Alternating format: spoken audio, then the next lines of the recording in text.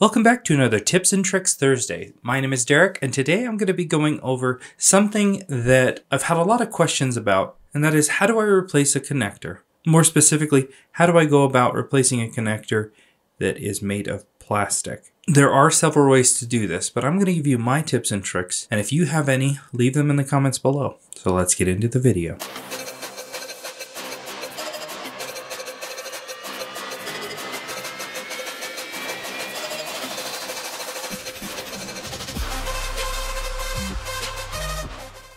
One of the things that you have to plan for when soldering is temperature control, because certain temperatures can help you and certain temperatures can hurt you. And when it comes to plastic connectors, such as the one that I'm going to be showing you today, there is a threshold where if you exceed it, the plastic melts. So let's talk about it. The connector that I'm going to be working on today is the Digitizer FPC on a Nintendo Switch. And it's made up of two different plastics. One's black, one's white, and the white has a higher melting point than the black does. As you can see, the connector that I'm looking at has some damaged pins, and therefore it needs to be replaced in order to work. And one of the nice things, at least in removing the connectors, it doesn't matter if you melt the plastic, so you can heat it up to a temperature where the solder will melt quicker, and you'll be able to extract it much cleaner. Now, one thing you want to add is flux.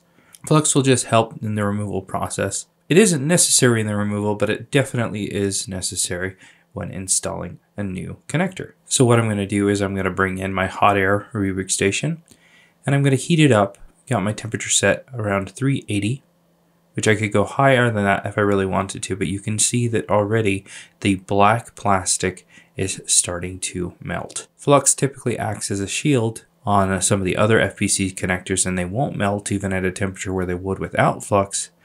But when we do this, you can see that the black's melting, the white is not, but the solder is melting, so I'll be able to push it off. So I'm going to wait until it's completely loose and then we'll slide it off the board. Now, one of the things that I like to do in order to help the installation go smoothly is to alter the solder that's on the board. I'm going to be bringing it down to a 158 solder temperature mixed with the factory solder. So it's going to be a little higher than a 158, but it's definitely going to be lower than the factory, which means I don't have to apply as much heat in order to get it to melt. So here I've got my paste out. You can use solder wire if you'd like. I just prefer using solder paste because it's always on my desk. And I'm going to take the iron and you'll see that we'll just run over the solder and this will mix with the factory solder lift up some of the factory solder onto the iron and deposit a mixture of the 158 and the factory solder onto all of the different pads, basically creating nice little pillows of solder that'll make for the installation to go much smoother. Now the thermal mass behind this little logic board isn't as big as the thermal mass behind other devices, so it might not be this straightforward. Once I like what I see, I'm going to take some isopropyl alcohol and we're going to clean up all of the flux, the,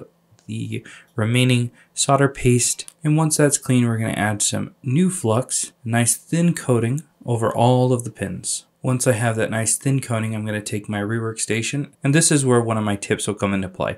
I'm going to lower my the temperature of my rework station until I find the area in which the solder will melt at the lowest temperature possible, where all of them, including the grounding pads, melt. And I'm going to continue to play with the temperature until I find that place where this particular board works with my particular rework station because each rework station is going to be different and you will find a different temperature on yours. So I'm going to give uh, 30 seconds between each heating just to let the board cool down so that it's not biased towards a certain temperature.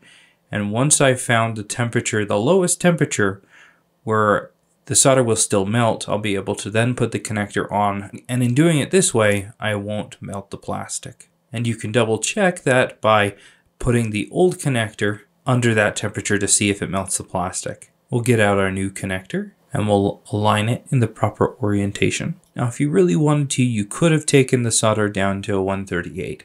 138, though, isn't as strong as a 158 or 183.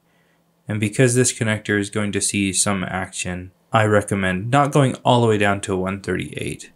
But if you're struggling at a 158 then by all means take it down. So as you can see, we've got no melting of the plastic. Got a little bit of flux on the black part of the connector there.